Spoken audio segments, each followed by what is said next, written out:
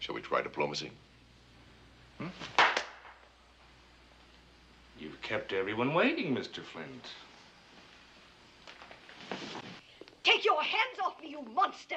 How dare you!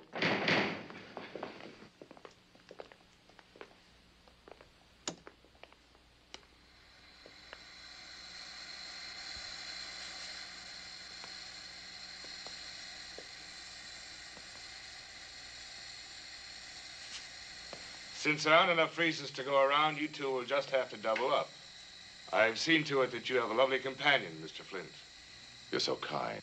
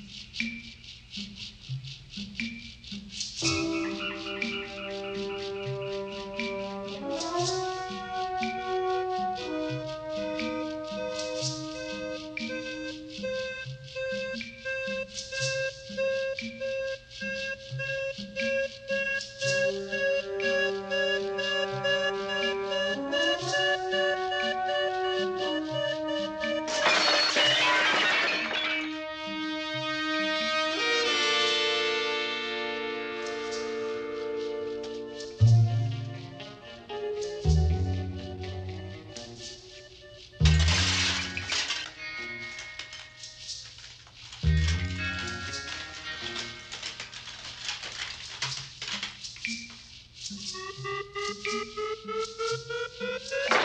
you.